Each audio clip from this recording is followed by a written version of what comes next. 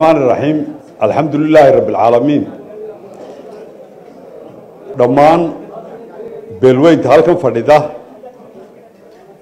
ee ka soo kala jeeda deegaamada somalilan inteeda badan beelaha ugu ballaadhan jamhuuriyadda somalilan ka mid ah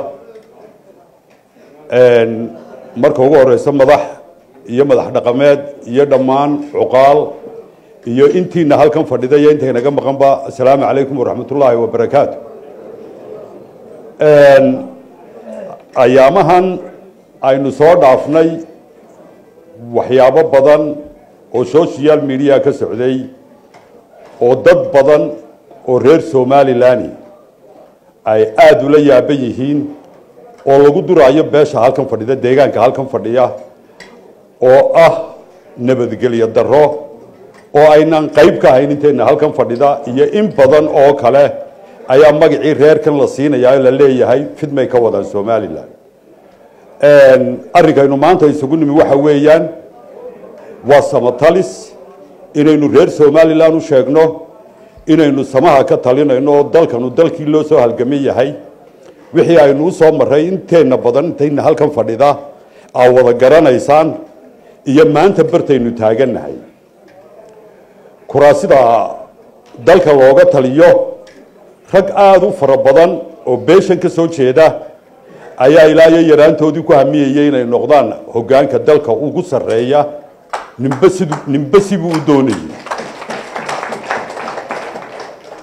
ma aha cabdiraxmaan iyo faysal oo keliya cidda doonaysa dalka inay hogaamiso. Rag badan oo aan anigu ka mid ahay waanu u halgamaynay muddo aada iyo aada u fara badan waxa beeshan oo keliya kamaanu doonayn. Deegaankan aanu ka soo jeedno saddexdayadaa ninba kamaanu doonayna somalilan baanu uga halgamaynay sidii aanu ugu fadhiisan lahayn kursiga. Sidii kuwii naga horreeyey ay ugu fadhiisteen. Anigu waxaan la soo shaqeeyey axmed maxamed maxamuud siilaanyo waxaan la soo shaqeeyey madaxweynaha maanta jooga muuse bixi cabdi. Labadaba waxaan kala shaqeeyey siday kursiga ugu fadhiistaan. Waxaan rajaynayaa deegaanaday ka soo jeedaan maalintaan isa soo taagaan musharaxnimada ku dhawaaqa inay gala shaqaynayaan deegaankaygana waan hubaa inay igala shaqaynayo. Waa maalinta aan anigu isu soo taago ee aan arko inay ii bannaan tahay. Mudaharaad baa la waa lagu dhawaaqaya. Mudaharaadka waxaan maqlay dad badan oo ka hadlaya tifiyada oo weliba deegaankan aynu ka soo jeedno ka soo jeeda oo le dastuuribaa dastuurkaa ii fasaxay. Dastuurku wuu fasaxay laakiin shuruuc baa ka dheeganta dastuurka. Shuruucdaa ka dheegantaa waxay dhigaysaa in aad fasax u soo qaadato mudaharaadka aad dhigayso.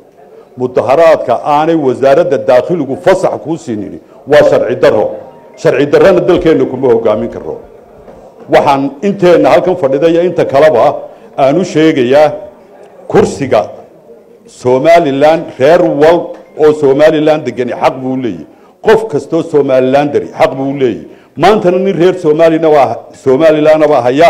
Siduu ku fuulay waynu garanaynaa reer kumuu fuulin. Habara walmay saarin kursiga. Deegaanka halkan fadhiya jilib aan cod ku siinin ma jiro somalilan degmo walba waa lagu siiyey.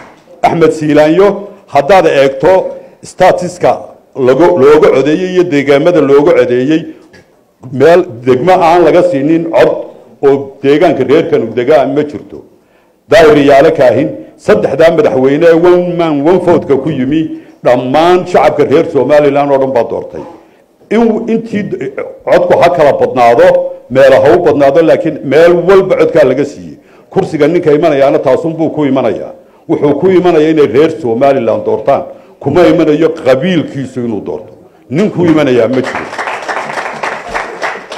Waxaynu u baahannahay inaynan ka duwanaanin dadka reer somalilan oo aynu dhallinyaradeenna iyo haweenkeenna iyo waxgaradkeenna u sheegno rool baan arkayaa ka maqan reer deegaanka halkan degan oo laba waa laba rool waa roolkii ganacsatada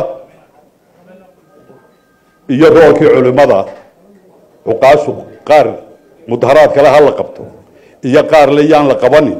Inta maanta halkaa fadhida ee aad arkaysaan ee dadkii somalilan waxgaradkoodii ugu badnaa ah waxay ka soo horjeedaan wax dhibaato ah oo somalilan ka dhaca. Ilaahay haynoo keenin.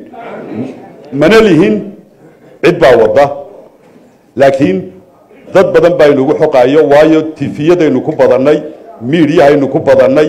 Waxaa laga hadlayaana waxa weeye mudaharaad iyo doorasho. Doorashadaan u soo noqonayaa doorashada waxaynu doorannay madaxweynaha maanta fadhiya shan sannadood. May dhammaanin. Teeram kale oo au doorasho isu soo taagi karo xaq buu leeyahy waxaan jecelahay xisbiyada macaaridka ah inaanu golo isugu nimaadno oo aanu weliba anagu gogasha dhigno haddaanu xusbiga kulmiyo nahay oo miidiyaha saxaafadda somalilan oo dhami timaado oo aanu laba shay kaga garnaqsanno labadaa shay oo ah doorashada madaxweynaha iyo doorashada ururada keebaa soo horreeya haddii ay noqoto tooda iyadoo adduunka oo dhan laga daawanayo somalilan baa ka garnaqi doontaa hadday noqoto sharciyadda somalilan aynu dhaafno. Odayaal baa maalin dhaweyto la soconayo oo lahaa dhexdhexaad baanu gelaynaa. Sharcigana dhexdhexaad lagama galo waxaanu raalli ka nahay haddaanu xusbiga kulmiyo nahay inaanu isa soo hor fadhiisanno oo aanu gogasha dhigno oo aanu laba waxyaalood ka wadalo taa doorashada iyo ta mudaharaadka. Mudaharaadka xaq ma u leeyihiin marka fasax ay wasaaradda daakhiliga ka soo qaataan bay fasax u leeyihiin sharci daruu noqonayaa amnigana xukuumadda ka mas'uula. Intaa odayaal badan baa meesha fadhiyaan uga baxayaa assalaamu calaykum waraxmat wabarakaatu